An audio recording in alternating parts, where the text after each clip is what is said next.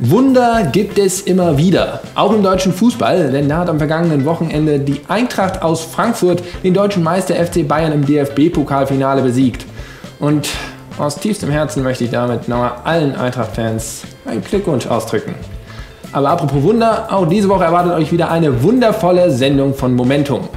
Zunächst möchte ich mich aber mal bei allen euch da draußen für das zahlreiche Feedback, was ihr uns gegeben habt, bedanken. Wir wollen uns auch bemühen, das umzusetzen. Diese Woche gibt es zum Beispiel für alle, die sich mehr Taktikeinblicke in FIFA 18 gewünscht haben, zum ersten Mal das Trainingslager, wo wir euch ein paar schlaue Spielzüge erklären. Los geht's nun aber erstmal mit den News. In drei Wochen beginnt die Fußball-WM in Russland. Schon nächste Woche beginnt aber die Fußball-WM in FIFA 18. Am 29. Mai erscheint nämlich das kostenlose WM-Update und bringt etliche neue Stadien und haufenweise neue Ultimate Team-Karten mit allen Nationalmannschaften. Langsam aber sicher wird dabei auch deutlich, dass Deutschland wohl keine guten Chancen auf eine WM-Titelverteidigung hat.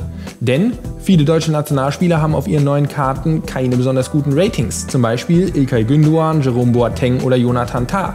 Die haben auf ihren neuen Karten sogar schlechtere Ratings als auf ihren Standard-Foot-Karten. Zwar können die während dem Turnier sich noch verbessern und entsprechend ihren aktuellen Leistungen geupdatet werden, zumindest laut EA hat Deutschland bei der WM aber schon mal schlechte Karten.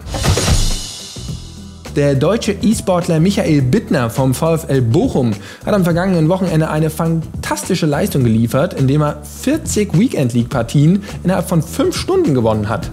Wie ist das mathematisch möglich, wenn eine Partie eigentlich 20 Minuten dauert?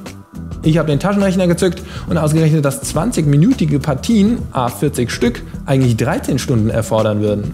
Wie hat er das also in 5 Stunden geschafft? Ganz einfach. Er war so gut, dass 34 von seinen 40 Gegnern frühzeitig aufgegeben und einfach gerage quittet haben. So einfach kann es manchmal gehen.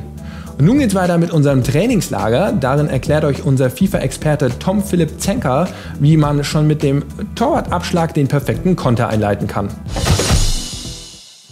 Den Gegner schnell auszuspielen oder auszukontern, das ist bei FIFA 18 extrem beliebt und ganz einfach möglich. Und zwar nicht nur mit einem passenden Lauf oder Steilpass, sondern mit der flachen Flanke.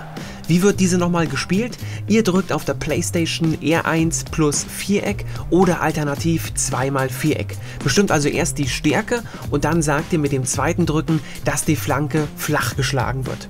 Auf der Xbox drückt ihr entsprechend RB und X oder zweimal X für die flache Flanke. Was ist das Besondere? Mit der flachen Flanke könnt ihr das Tempo direkt mit dem Torabschlag anziehen und euren Gegner überlaufen.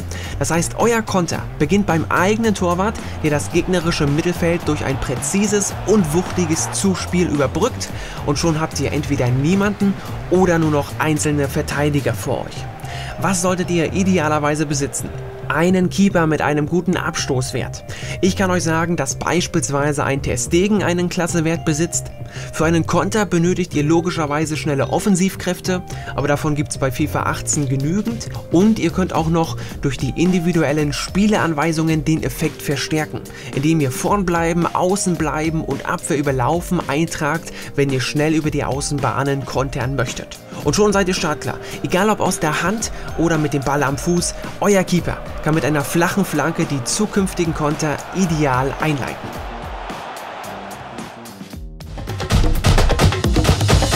Wie jede Woche gibt es auch diesmal wieder ein neues Team of the Week und das TOTW 36 seht ihr ja einmal komplett eingeblendet. Leider hat es diese Woche kein Spieler mit einem Informwert von 90 ins TOTW geschafft. Dafür kommt Franco Vasquez vom FC Sevilla, aber immerhin auf einen stolzen Wert von 87. Zwar stand der Italiener schon zuvor einmal im TOTW 25 und hat auch schon eine orangene Man of the Match Karte in seinem Portfolio. Bislang war sein Höchstwert aber 86 und damit erhält er diese Woche eine neue Top-Karte. Außerdem dabei ist diese Woche auch ein emotionales Highlight, nämlich Fernando Torres. Der trennt sich 17 Jahre nach seinem Debüt bei Atletico Madrid nämlich endgültig von seinem Verein und zu seinem Abschied erlangt er diese Saison seine erste TOTW-Karte und gleich ein stolzes Upgrade auf einen Wert von 84. Das größte Werte-Upgrade erhält diese Woche aber Dominik Frieser vom österreichischen Wolfsberger AC. Normalerweise kommt Frieser nämlich lediglich auf einen bescheidenen Wert von 58 auf seiner Bronzekarte. Auf seiner ersten TOTW-Karte schafft er es aber gleich, sich um 10 Punkte zu verbessern auf eine Silberkarte mit einem Wert von 68. Und das war's auch fast schon wieder für diese Woche. Schreibt uns gerne erneut euer Feedback in den Kommentarbereich. Und zum Abschluss gibt es nun noch einmal ein Elfmetergesicht. Darin zeigen wir euch einen Spieler aus dem Spiel FIFA 2001 und geben euch drei Tipps, anhand derer ihr ihn hoffentlich frühzeitig erkennen könnt. Und zum Abschied denkt immer an die weisen Worte von Matthias Sammer.